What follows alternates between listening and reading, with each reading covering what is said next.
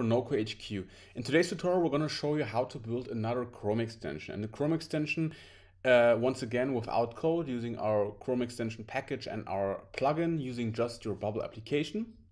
And with today's Chrome extension, we want to show you that basically with the actions that we provide you, almost all kinds of use cases are, um, are possible because one of the actions we offer using our plugin is, for example, the ability to inject a custom script into the browser or the, the tab um, of the user um, via the Chrome extension you're building in Bubble. And the, um, the, the, Chrome extension that we want to build today is quite simple, but makes uh, use of this feature.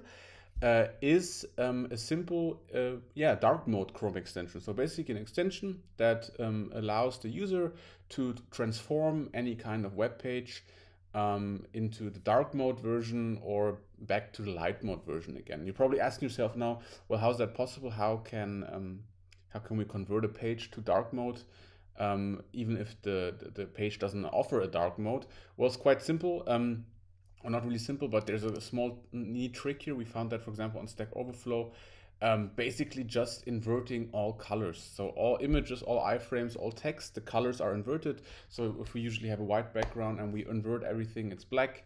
Um, so this kind of adds an, an, a dark mode to an application to a website. Um, obviously not super smooth, not as perfect as if someone really builds a dark mode, but um, it works okay. Um, and um, for some use cases, it might be better than no dark mode at all. And so what we're going to do in this tutorial, we're going to use this uh, code here. So um, it's just on Stack Overflow, the solution here. Uh, and actually this all this code is enough to um, basically inject the, the script we need to um, change the dark mode. Okay, so not really coding skills required. Um, we're just going to guide you through it, but um, it helps if you understand some, um, some JavaScript here. So as always, we build our Chrome extension, our Bubble application. We have our Chrome extension plugin installed, the element on, dragged onto the page, and we basically have access then to all the action. As always, if you're unsure about that, please watch one of our other tutorials. We have lots of tutorials explaining how to set up the package, how to use the plugin, and how to build different kinds of Chrome extensions. So today, um, I'm just going to add a simple button here. Um, and this will be activate dark mode. Let's like this, activate dark mode, okay. Um, all right. This.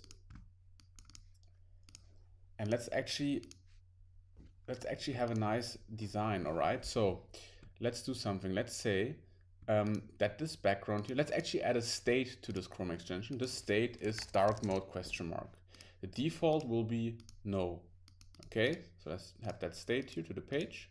And then we're going to say to the background, all right, so when this page, which is called F, dark mode, is yes, well, then we want to have the background color to be almost black here, just so we have a nice design um, um, to that. Uh, and same thing here. Let me just remove the style here.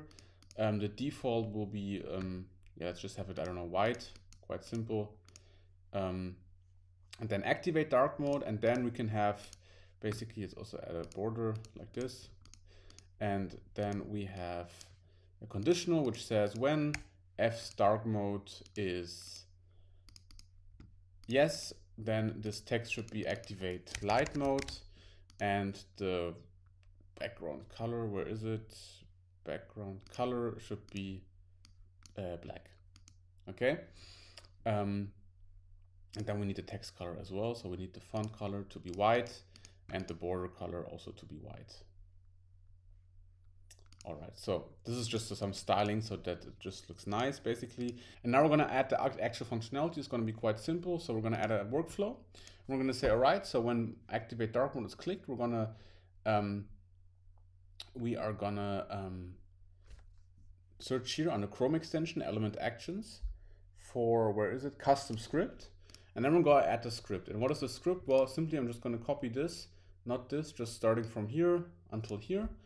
Um, we're not going to go through what this does here, but basically it adds CSS to invert everything. Okay, I'm just going to paste that code here. We don't need this here. All right. Okay. And before we do anything else, let's just take a look and see if that works. Okay, so let's maybe go to Wikipedia here. I'm going to open my Chrome extension. Um, it's going to load for a bit because we have lots of plugins installed and, and um, it's a testing uh, app. But once the Chrome extension loads, we should have our button here. You can see already activate dark mode. Uh, let's click that and great. You can see immediately it works. Um, Wikipedia is completely inverted. The background is black. Um, the text is white and the links are yellow, which is, uh, yeah, should be the opposite of blue. Um, and yeah, so that worked quite fine. And now obviously we also want to have the functionality to kind of switch that back. Okay, so we're going to do this.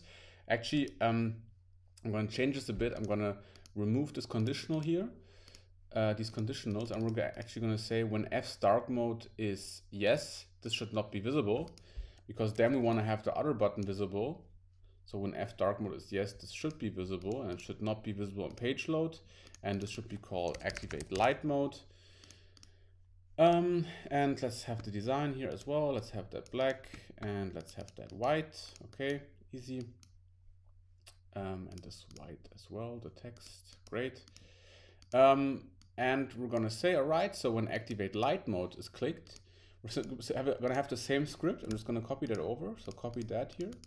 Uh, but we're gonna have a small change here. I'm just gonna change this here. We need this CSS.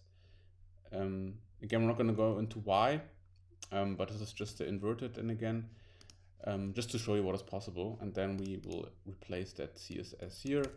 Uh, and basically the opposite should happen now. Now the only thing we need is to show and hide buttons according to the state. So um, for the button activate dark mode. When this is pressed, we want to set the state of uh, set the state of our page dark mode to yes. And then the same thing when light mode is pressed, I'm going to use the same thing, but set the state to no. And we should be good to go now. That's all we need. So let's try it over another page now. Let's use Medium here. I'm going to open a demo extension.